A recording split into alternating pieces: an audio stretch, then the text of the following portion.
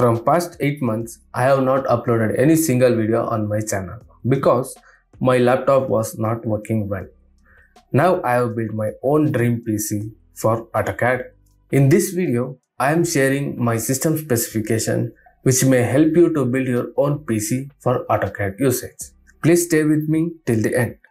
In this build, I am using MSI B560 Tomahawk motherboard. It is coming with CPU socket of LGA 1200. It supports 10th and 11th gen processors and it is coming with 2 SSD slots and 3 GPU slots and 4 slots of DDR4 RAM up to 128 GB.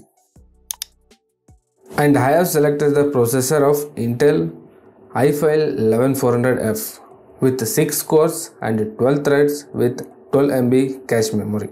Its base clock speed is 2.6 GHz with turbo speeds up to 4.4 GHz. It supports LGA 200 socket CPUs. And I am using G.Skill Ripjaws 16GB DDR4 3.2 MHz single RAM. And I am using NVIDIA GeForce GT 1030 4GB graphics card with single fan. Due to budget constraint, here I am using only one SSD of size 500 GB and its transfer rate is up to 2400 MB per second.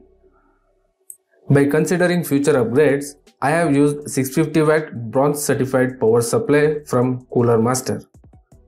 With Ant Esports ARGB cabinet, my PC is looking like this. It is awesome. I hope this information is useful to build your own PC for AutoCAD. If you have any suggestions, please write in the comment box